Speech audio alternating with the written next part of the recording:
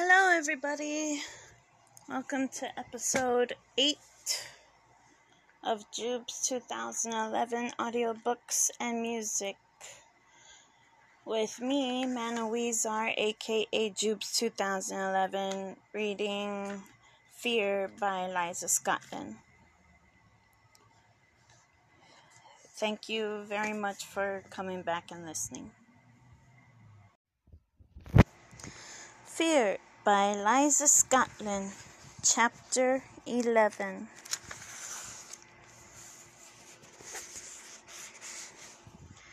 Mary tried not to be nervous while her OBGYN, Dr. Melissa Foster, examined her from somewhere behind the white tent covering her knees.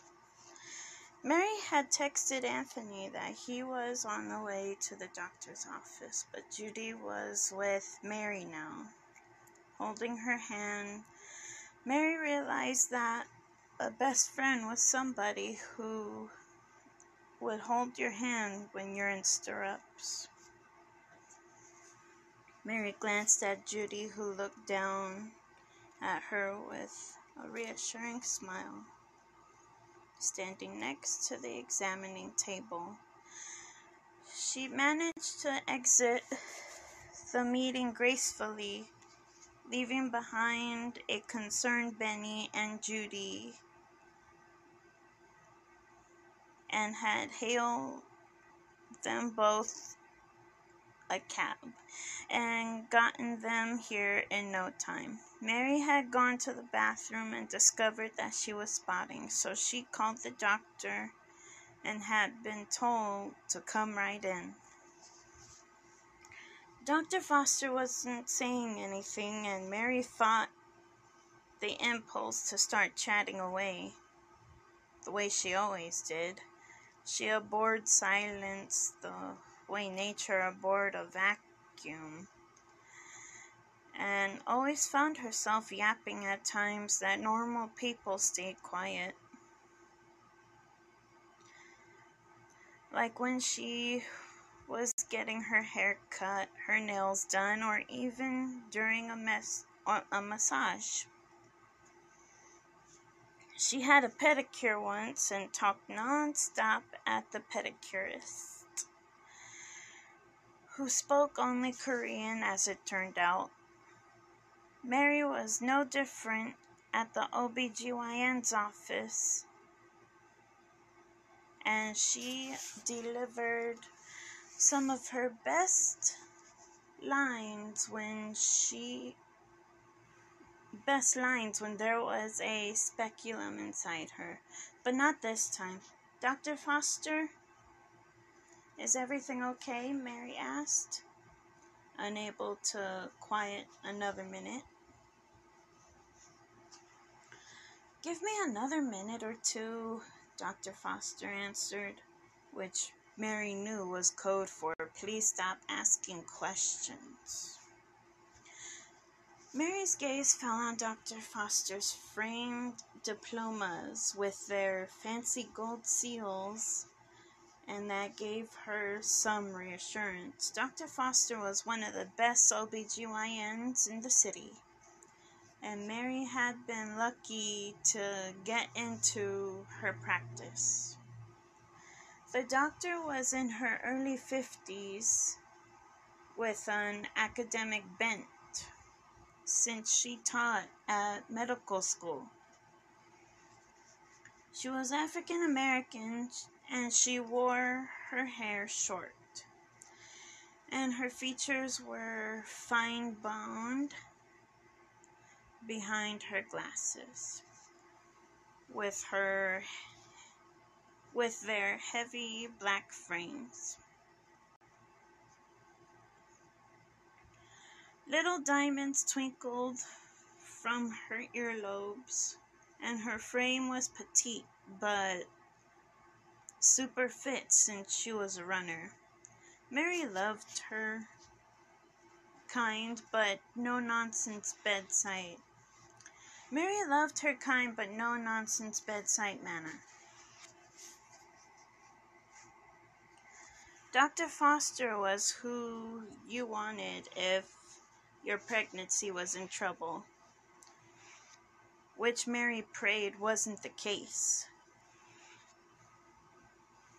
She glanced around the room, trying to draw reassurance from the soft mint green of the walls, the colorful watercolor bouquet in a pale blue frame, and the flowery pink letters of the requisite inspirational saying sign.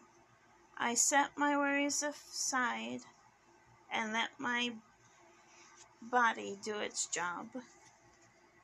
Mary looked away because the sign wasn't helping. It only reminded her of her job, which was back at work, trying not to lose everything she and Anthony owned. She was still reeling from John's quitting and terrified that it would pull a nail and put a nail in the coffin of the lawsuit. Benny had even called it a death blow, which wasn't the kind of panicky language she used. Mary had known that being sued was stressful, but she had never realized how completely stressful it could be until it happened to her. Suddenly there was a soft knock at the door, and Mary looked to the left to see Anthony enter the room worriedly.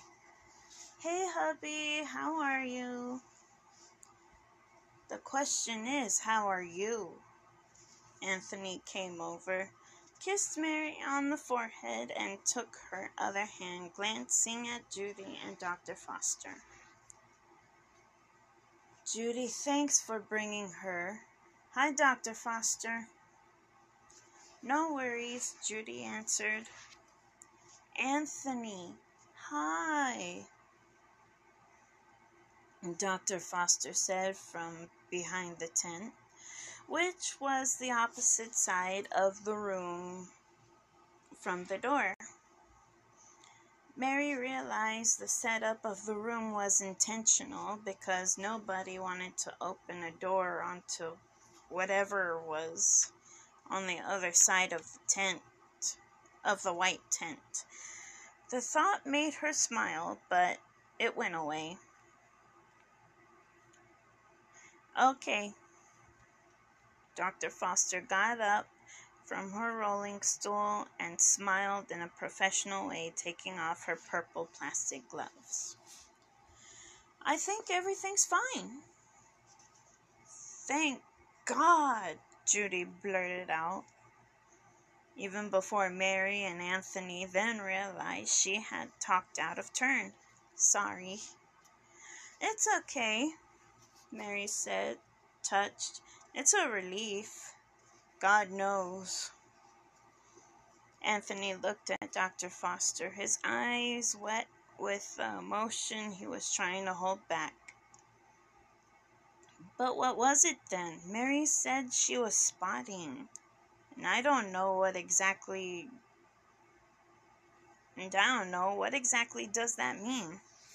Spotting means there was some blood and perfectly nor and spotting means that there was some blood and that's perfectly normal from time to time, especially in the first trimester.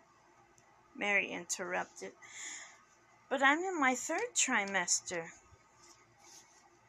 Yes, I know, Dr. Foster answered patiently. But I've examined you and I'm not overly concerned. It does happen and you need to come in and have me check it out when it does. But what causes it? It's symptomatic of some conditions that luckily you don't have. Like what? Well, like placental abruption, which is caused when the placenta is detaching from the uterine wall, or even or even preterm labor, but you are not in labor. You said you weren't feeling any contractions and you had no more nausea than usual. Right. And I haven't had any dizziness or anything like that either. Got it. Dr. Foster cocked her head. Are you under stress, Mary? Mary blinked, and Judy burst into laughter. Anthony didn't. Mary answered. Let's just say things are busy at work. Dr. Foster smiled more warmly. I know, I hear you. Doctors always tell you to eliminate stress, and that's completely impossible in the modern world. You're a lawyer, and stress is part and, par- and parcel of your profession. That's exactly right, Mary said without elaborating. She didn't want to whine about being sued, and she knew that Dr. Foster had a full waiting room, having squeezed her in on an emergency basis.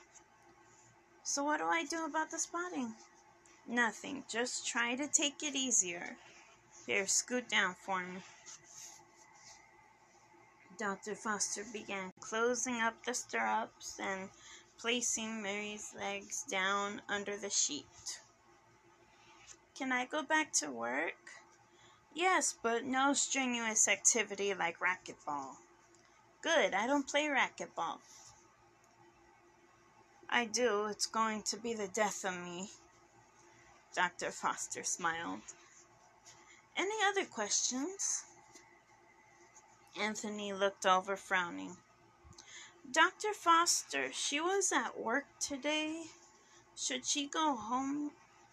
She should go home, right? Maybe, just to relax, though it's not medically necessary. Anthony shot Mary, uh, I knew it. But, doctor, when you say take it easier, what do you mean? Should she cut down on her hours at work or work part time? Judy squeezed Mary's hand. Mare, if you have to, you could take it easier at work. Like, take it down to three days a week. I'll watch your desk, pick up the slack or you can work from home. Dr. Foster shook her head. There's no me- medical reason for Mary to do that unless she wants to. The doctor turned to Mary. Do you want to? No, Mary answered, avoiding Anthony's eyes. But on the other hand, I would never do anything that hurts the baby. Of course not. I wouldn't advise you to go back to work if I thought it would compromise the pregnancy or the baby. Dr. Foster put her hand on the doorknob. But you're perfectly healthy, proceeding along right on track. Today was a blip on the screen, but that's it. Feel free to call if you have any other questions, and of course, if you have any further spotting, okay? okay, Mary smiled, almost reassured. Thanks so much, Dr. Foster. Dr. Foster, thanks, Anthony said, and Judy waved goodbye. Thanks from me, the aunt to be. Dr. Foster smiled. See you at your next appointment, Mary. Just put your gown in the basket and leave when you're ready. Take care. She left the examining room, closing the door behind her. Okay, Mary said, heaving a heavy sigh and Anthony bent over and gave her a kiss on the forehead. That was scary. I bet Mary felt a wave of love for him and concern. I didn't mean to freak you out when I called. Not at all. I'm glad you told me. You didn't tell my parents, did you? Are you nuts? Anthony smiled crookedly. Okay, I won't go back to work. I'll go home with you. Yes, the car's in the in a lot. You check out and I'll come pick you up. No, Anthony, I can go without you. Judy touched Mary's arm. Mare, Anthony's right. Let him get the car. You get dressed and we'll meet and we'll meet him. Thanks for the assist. Anthony shot Mary a look. Hear that, honey? Listen to reason.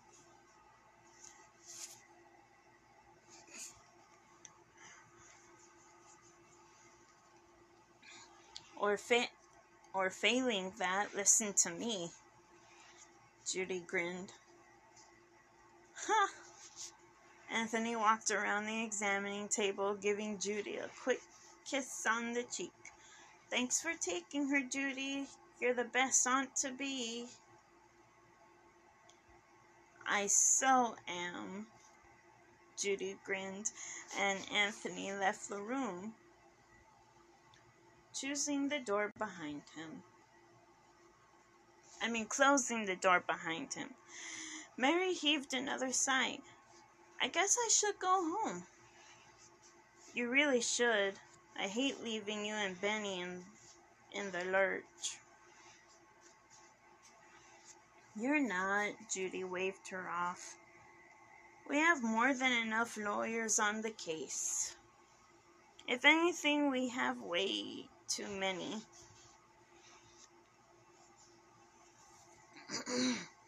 but we have work to do on London Technologies with John gone.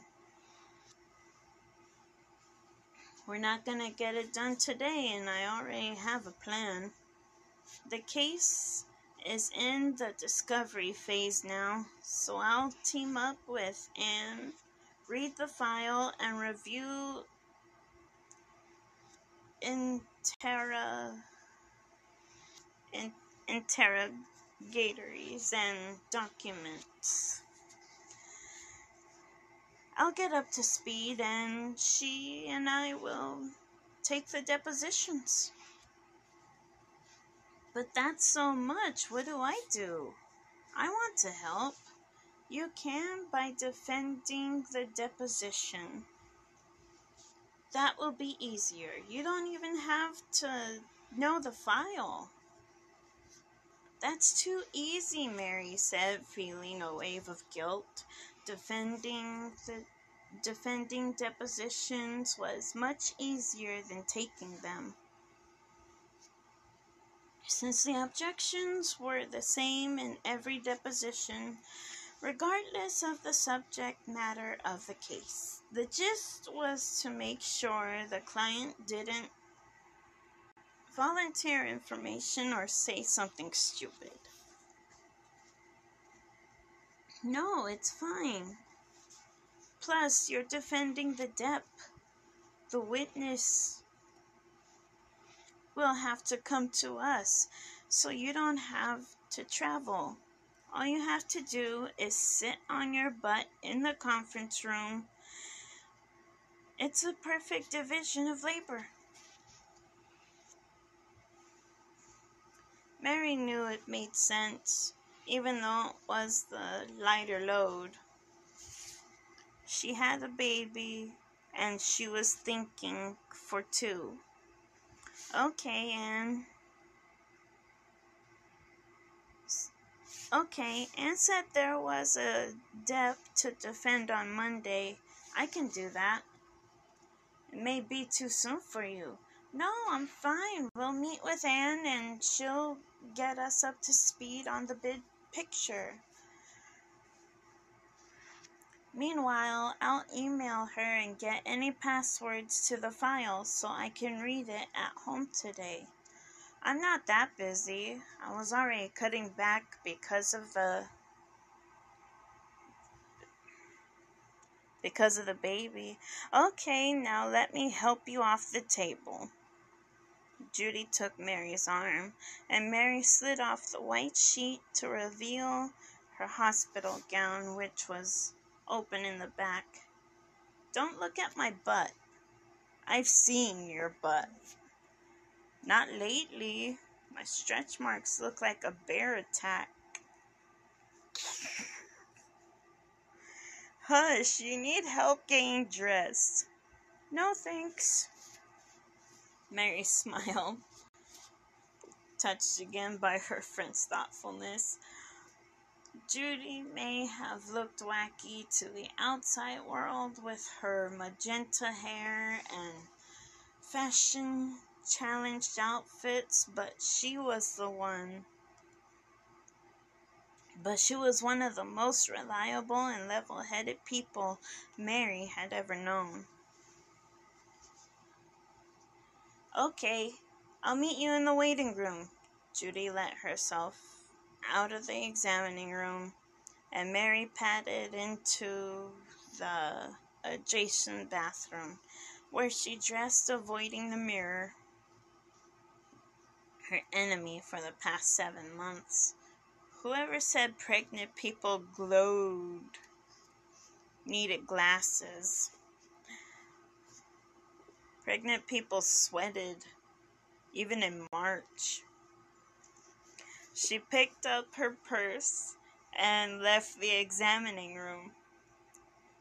Trundling down the hallway and taking a left toward the billing and reception area. When she heard a hubbub coming from the reception area. She went through the glass door only to be greeted by the reception room full of bewildered patients, a nervous Judy, and most of South Philly in the form of Mary's mother, father, Elvira's, and the Tonys were surged forward as a vaguely hysterical group when they spotted Mary. Pop? Mom? Mary recoiled, horrified. How did you know I was here? Honey, you alright? Anthony told his neighbor he was gonna meet you at the doctor, and she called Camar Millie, who knows cousin Tootie with the eyes, so he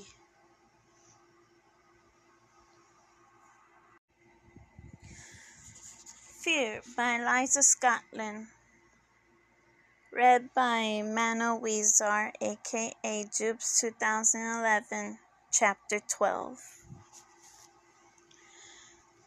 Day turned to night at home, and Mary sat in her favorite chair by the window, which was called a chair and a half since it was wider than normal.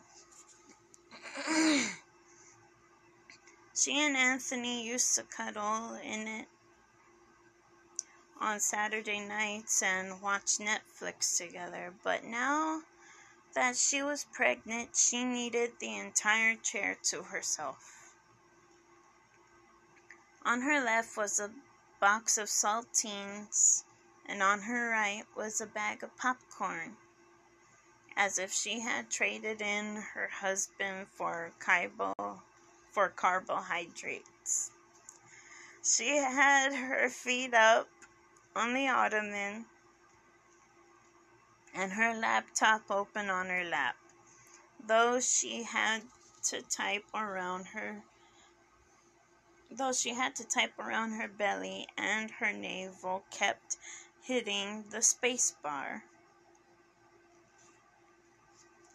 She found her gaze wandering outside the window, watching her neighbors giving their dogs at a last walk or coming home from restaurants or the movies. Her and Anthony's townhouse was in the Rittenhouse section of the city a three story brick colonial that was nevertheless a row home. Although in a higher rent district than South Philly, it had been their neighbors two doors down. The McIlly the McIlhennys.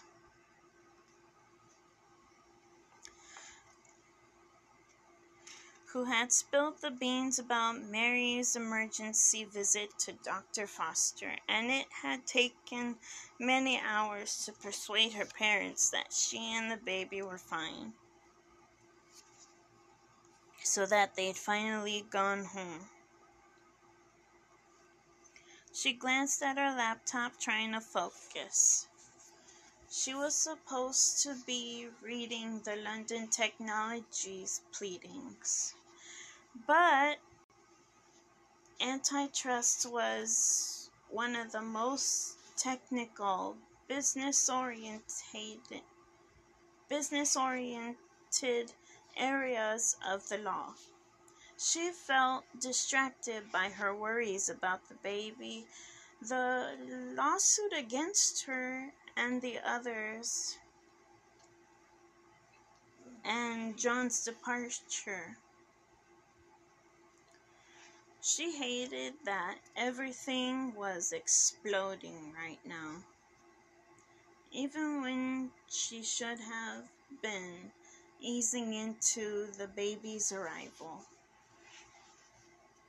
She planned her caseload so carefully, scaling back the active files and not taking any new clients. But that had gone by the wayside. Life wasn't going well if contractions would be a relief. Life wasn't going well if contractions would be a relief. Mary kept her eyes on the laptop screen and her worries to herself, especially about the pregnancy, because she didn't want to get Anthony started all over again. He had lectured her at lunch and again at dinner about trying to take it easy at work. He sat on the couch on his laptop working on his book and ignoring the television, which was playing the new season of The Crown, their latest binge watch. She didn't know when Netflix had become the background music to their marriage, but there were worse things. Anthony stretched, checking his watch. It's getting late, almost 11. You want to you want to go up? Sure, Mary said, though she hadn't gotten much done. Good. Anthony set the laptop aside, rose, and brushed down his jeans, flashing her a weary smile. Can I get you anything? How about a kiss? Anthony smiled, came over, kissed her on the cheek, placing his hands on the soft arms of her chair. How do you feel? Fine, Mary answered, meaning it. Absolutely normal for a pregnant person. Tired? A little. Crampy? Nah. Bloated? Very. Mary smiled, touched. Anthony was learning girl lingo, but he spoke it like a second language, which made sense. She had never been so aware of the differences between men and women before. Maybe it was because of the pregnancy or the lawsuit. Oddly, it felt like there was like there were two separate sides. The way John had said, and she wondered if that notion was true or, t- or testosterone induced. Mary didn't know as testosterone was the only hormone she lacked. Anthony smiled down at her, his gaze soft. You're preoccupied. I was, but it went away, Mary smiled, and Anthony kissed her again, this time on the lips, slowly. She felt a distinct tingle, and when he pulled away, she told him so.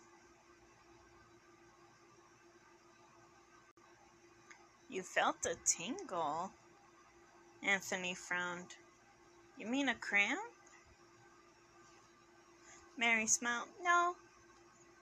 A tingle comes from somewhere different. Anthony smiled back. Somewhere off base? Exactly, the forbidden zone. Or the promised land, Anthony laughed, and so did Mary.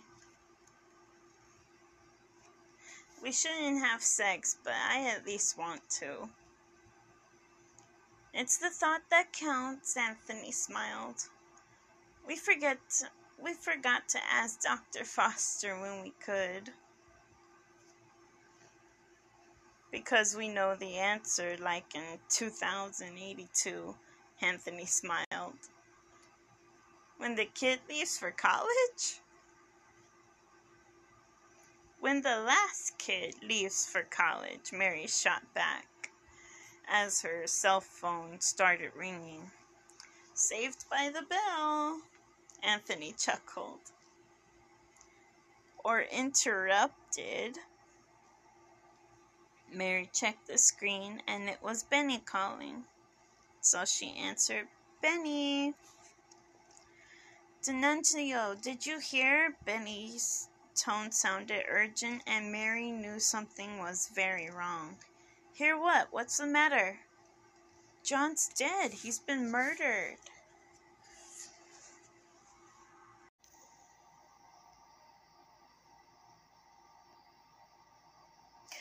Get your motor running. Head out on the highway. Looking for adventure. And whatever comes our way. Yeah, darling. Go make it happen. Take the world in a love embrace.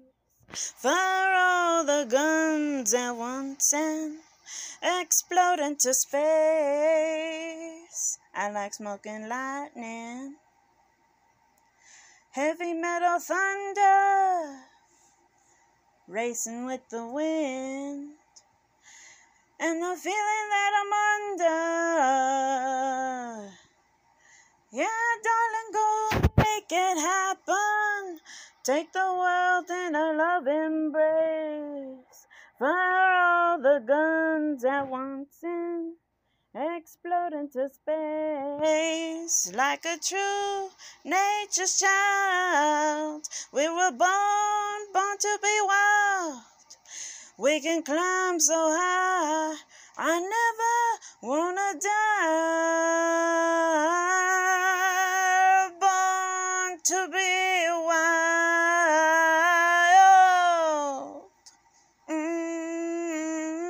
通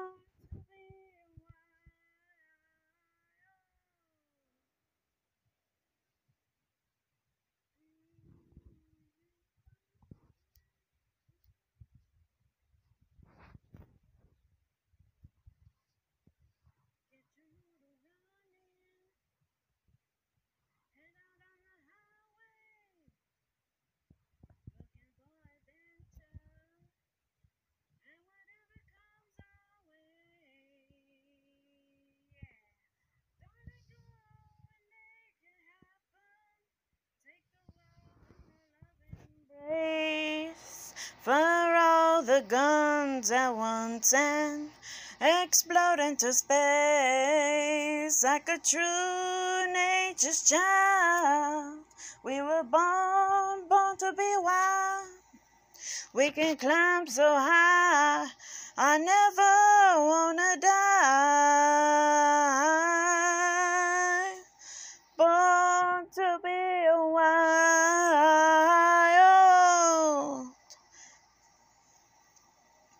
Born to be a wild. Mm, ba-na, ba-na, ba-na.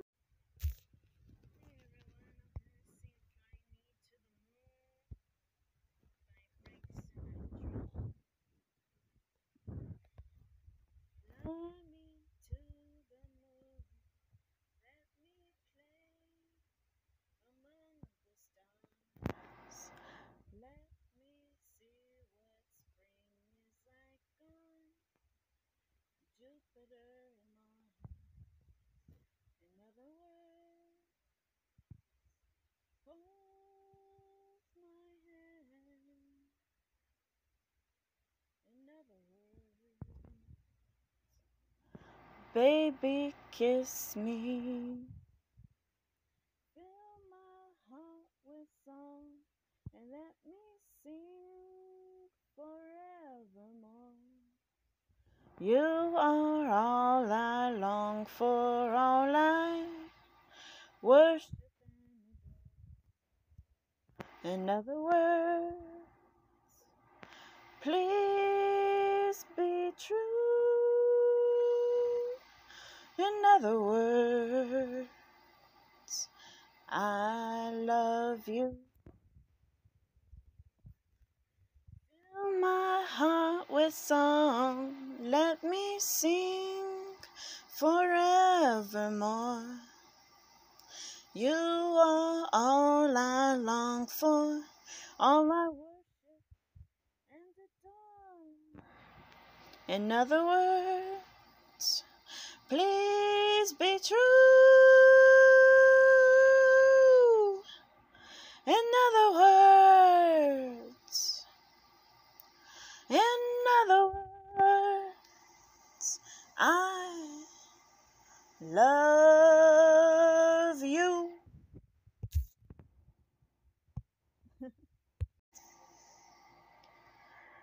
Night and day.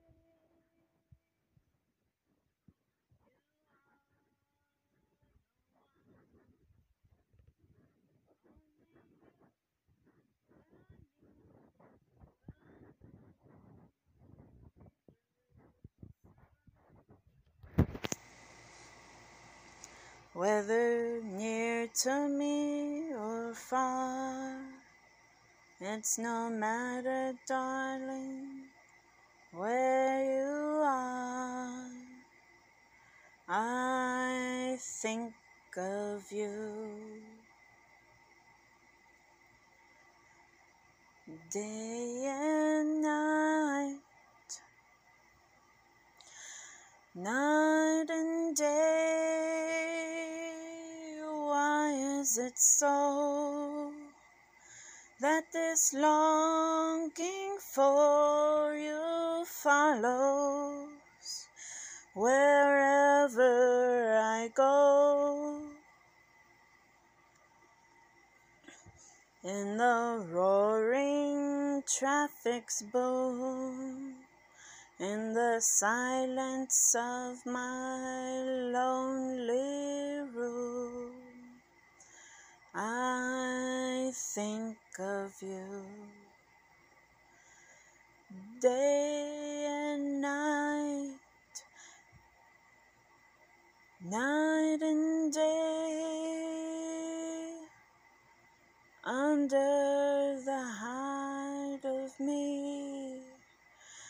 An oh, such a hungry yearning burning inside of me, and its torment won't be through till you let me Spend my life making love to you day and night, night and day.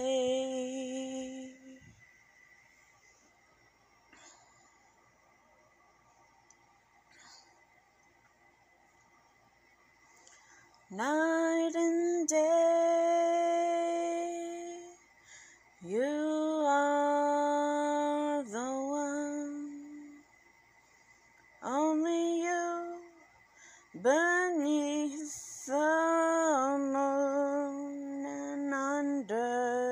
sun. Whether near to me or far, it's no matter, baby, where you are. I think of you day and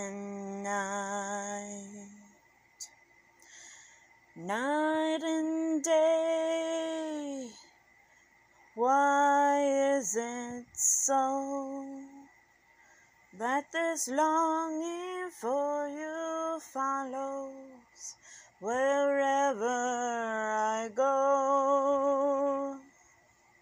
No roaring traffic's boom in the silence of my lonely room.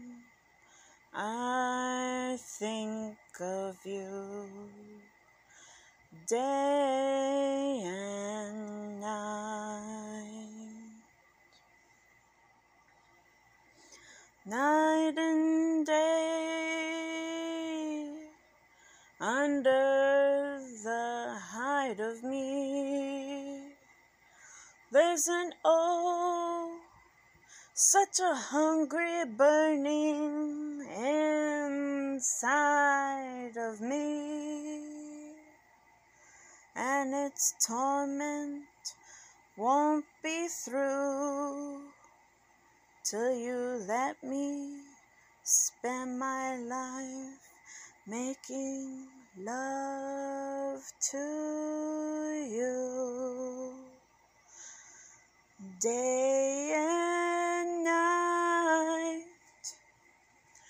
night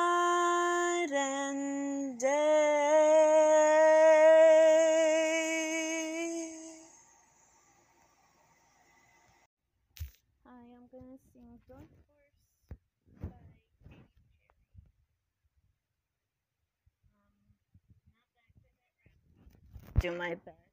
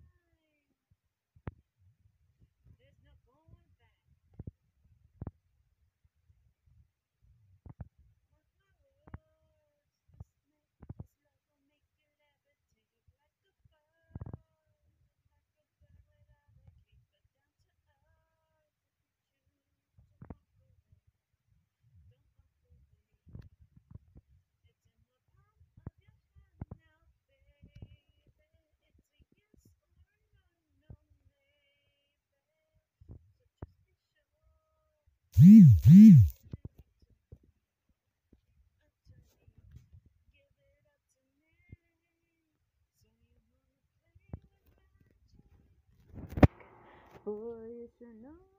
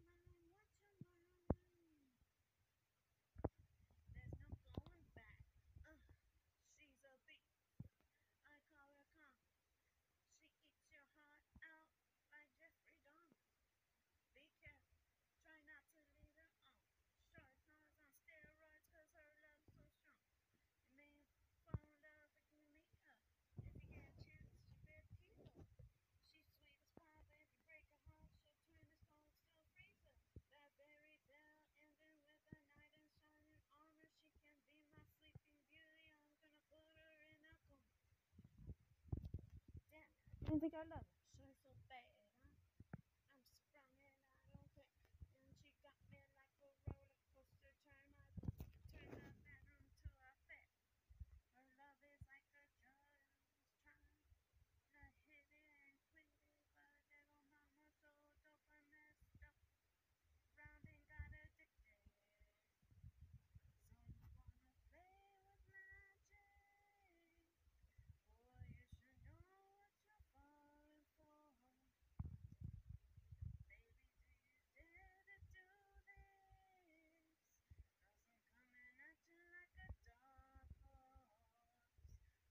Are you ready for, ready for a perfect storm, perfect storm? Cause once you're mine, once you're there's no going back. I've got you under my skin. I've got you deep in the heart of me. So deep in my heart that you're really a part of me. I've got you under my skin. I tried so not to give in. I said to myself, this affair will never go so well. But why should I try to resist when, baby, I know so well I've got you under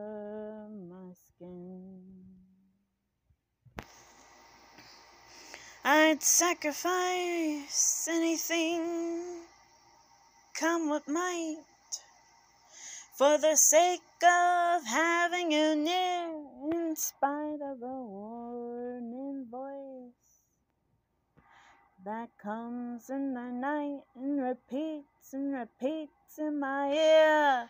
Don't you know, little boy, you never can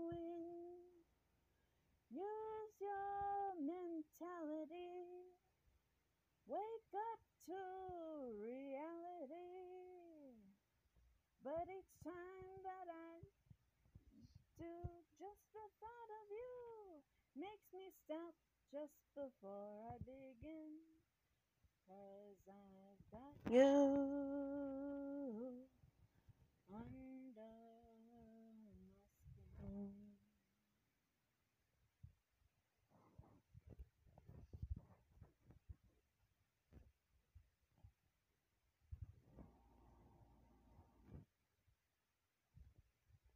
I would sacrifice anything, come to what might, for the sake of having you near, in spite of a warning voice that comes in the night and repeats how it yells in my ear. Don't you know, little fool, you never can win. Why not?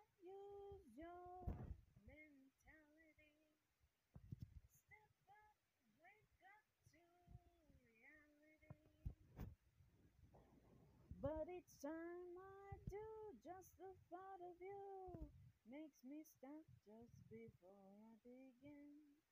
Cause I've got you under my skin.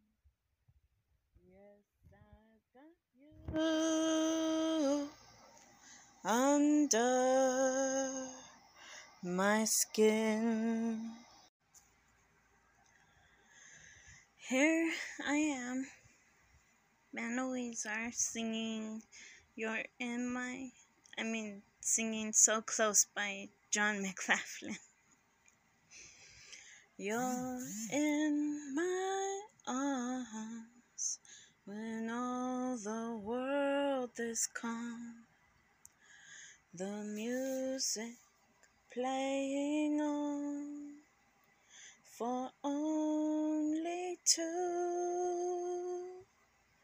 So close together, and when I'm with you, so close to feeling alive.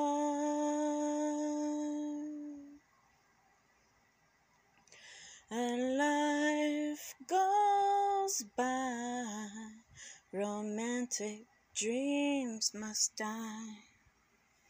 So I bid my goodbye and never knew. So close was waiting waiting here with you. And now, forever, I know that all that I wanted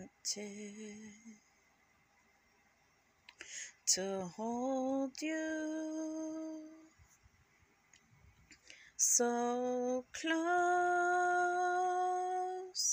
so close to reaching that famous happy ending, almost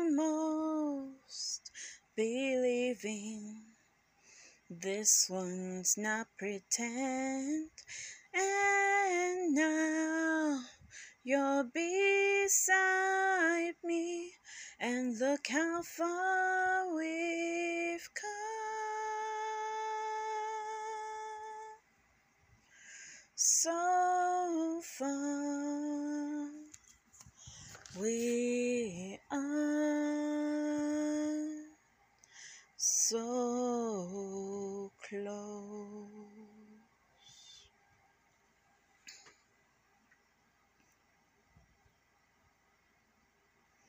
Oh, how could I face the faceless days if I lose you now? We're so close to reaching that famous happy ending, almost believing this one's not pretend.